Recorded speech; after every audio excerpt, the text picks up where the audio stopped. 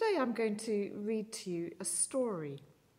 It's a story taken from this book, uh, All Creation Waits by Gayle Boss. And some of you will be familiar with it because you came along to our online Advent course. You might be saying, well, why am I reading a book, uh, a story that might have something to do with Advent when we're no longer in Advent? And of course, that is true, we're not. But there's something about this time that we're currently in that still feels a bit like Advent as we still wait. You know, we're still, we're not yet completely out of coronavirus. We've got the hope of vaccines and all of that, but we're still living under restrictions and isolation, and all of that goes with that. And of course, in some ways as well, the church actually is still, or the world even, is still in a time of Advent when it comes to waiting for Christ coming again.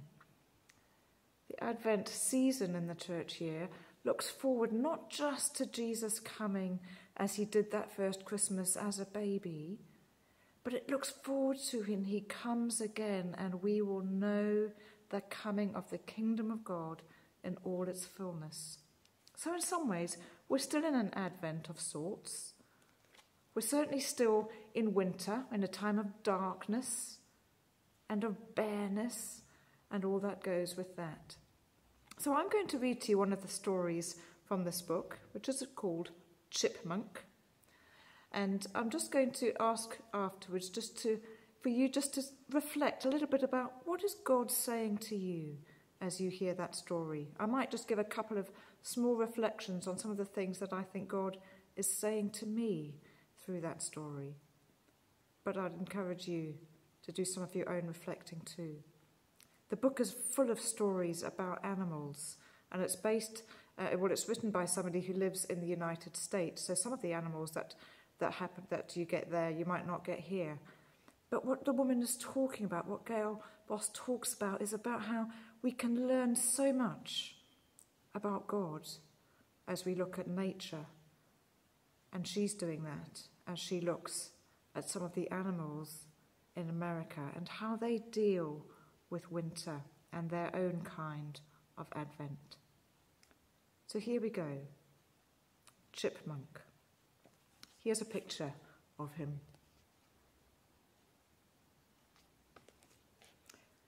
in the sheltered south corner of my doorway, where the sun has kissed away the snow, I hear a chirp, chirp, chirp, chirp, pointed as a metronome.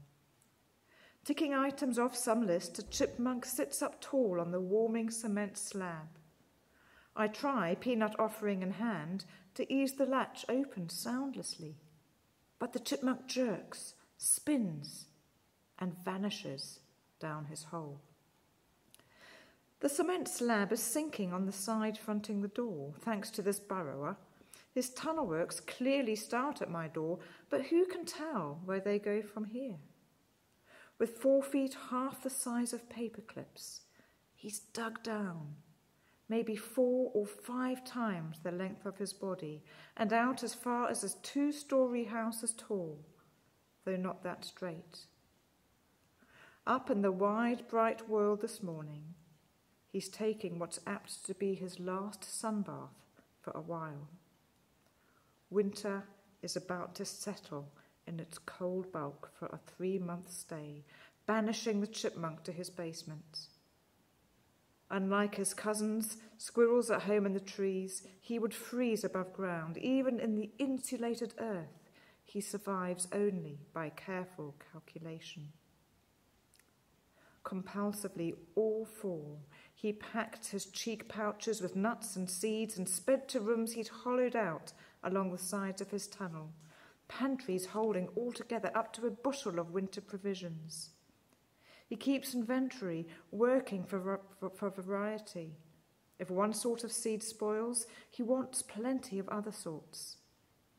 Such a well stocked pantry, though, is a magnet for thieves in the beneath, and so above ground he stored more reserves, hiding them from hungry thieves there too.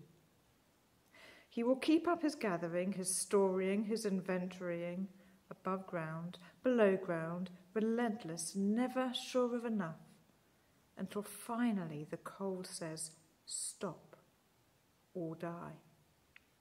Then he'll slip down through his tunnel to a leaf lined chamber and, and ball up. His restless heart slows from 350 beats per minute to 15. He barely breathes. His body cools. If a weasel should find him, he will be dead before he knows what hit him. Awake, he can likely, likely escape. So he sleeps in snatches. A few days, a couple of weeks, pulling himself up out of torpor to inspect the tunnel, the exits, the pantries, and to eat. If provisions seem low, he might pick a warm day and pop up briefly to raid a bird feeder or find one of his above ground stashes, which means risking a hawk or a cat watching for dark stripes against snow.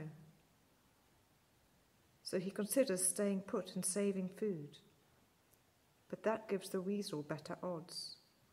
All he has to consider also, he has to consider how long this winter might last and how to save food for spring, so he'll be strong enough to pursue a mate.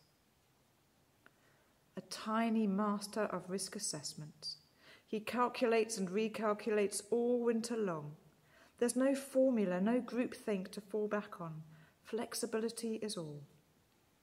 Each chipmunk must, for and by himself, consider which of several choices will most likely bring him through the cold, dark days to the other side of winter strong.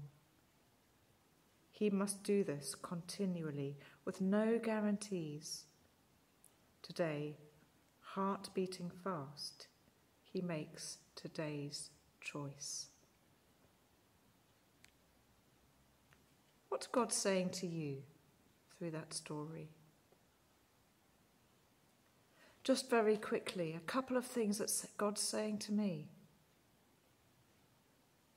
We ended with that word choice. What are the choices that I make? Whilst we might at the moment be going through dark times in terms of COVID, we will come out of those, just as the spring will come for the chipmunk. But there will be more dark times that I go through in life just as there will always be more dark times that you will go to. We can't always predict when they will be. But we can know that they will come because grief and pain comes to us all at times. And so, one of the things that God's saying to me here is what are the choices I'm making into how I can be sure I'm ready for those times in terms of sustaining my walk with Him? Because during those times, that can often be when our faith is put under the most stress, when we can be most tempted in a way to let it go or to walk away because it all feels so hard. I wonder how your faith has borne up during this time of coronavirus. I wonder whether you have been prepared so that when it came and when it hit and when the isolation came, your faith remained strong because you had built up the resources to sustain you. One of the things that just struck me afresh as I read about the chipmunk was about the need for me in times when life is okay or manageable or good or joyful, whatever, is that I'm using those times to make sure I'm building myself up spiritually in a variety of ways. That was another thing that struck me about the chipmunk, the way he used a variety of seeds. What are the variety of ways that I use to build myself spiritually? Well, there's lots of things I do. Things I read, study the Bible, go out for walks, pray, have times of silence, all sorts of things, which I hope are all helping to build me. So that when the winters come in my life, I will be able to survive them in terms of my faith. That, that those provisions I've made will carry me through, so that those days and the winters when I find I may not be able to pray in the same way, that'll be okay because God and my faith in Him will be strong enough to get through. I encourage you, even as we keep going through this current winter, I encourage you to continue to be building yourself, to be finding ways to ensure that you sustain yourself spiritually. I've said enough. I've gone on much longer than I usually would. So I'm going to leave you to reflect for yourself on that story. What was God saying to you?